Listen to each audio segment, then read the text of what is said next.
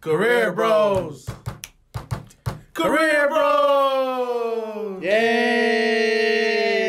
This is Eric G. And I'm Carlos C. And we back at it again, and we are the Career Bros. This is where we relate kitchen items to career concepts. That's right. All right, we got something special. Carlos, go ahead. Hit Today we're going to talk about spice. Spice. Now, in the kitchen, the word spice is used as a, I just messed that up, as a seasoning that enhances the flavor of your meal.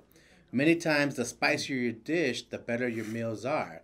I don't know about you, Eric. I like it spicy.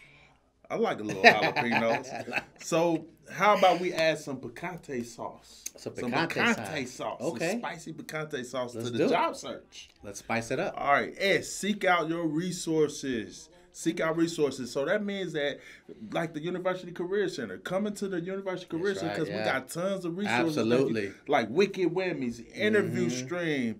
I mean, just tons. Interview 'em. skills.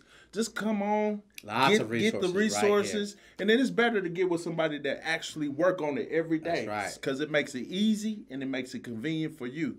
So just come, Come on, on out. through. Utilize those resources. That's Seek good. out those resources. That's good. That's good. Yeah. The P is for promoting your brand. I like that. Keep in mind that you are the CEO of your own company. Okay. You determine which way you're going to Yes, go. sir.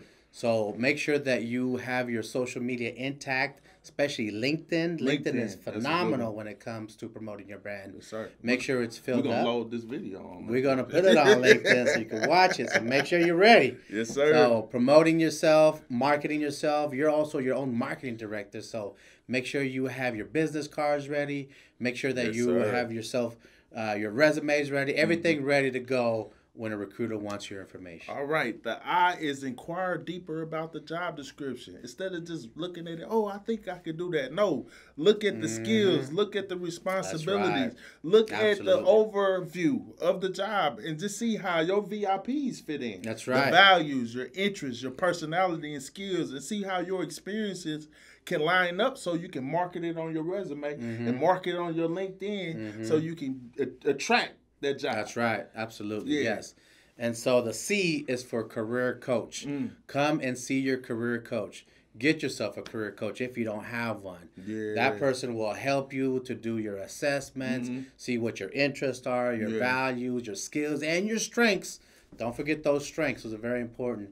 And that way they can help you work on those, help you highlight those, help you grow those, and be able to meet with you on a regular basis to even Yes, just sir. Mm-hmm. motivate you and keep you going until you reach your goal. Yes, because we don't walk this alone. That's we right. don't walk this journey We alone. this so journey if you do all of those things, you'll be like ring, ring. Hello? Hey, Carlos, is this Carlos? Yeah. This is Eric Green with the International Career Coaching Institute League of Higher Weighting, computerized digital marketing, and human rights firm. Okay. Woo! I got some good news for you, brother. What's the news? We want to offer you the job. Yeah. So we're talking about E, employment. Employment. So if you do all of those things, you you get your you get you increase your chances of getting employment. You got the job. So my final words to you: employment don't just happen; it's an action. That's right. The spicier your job search is, the better your dinners will be. Ooh. See you next time, Career Brothers.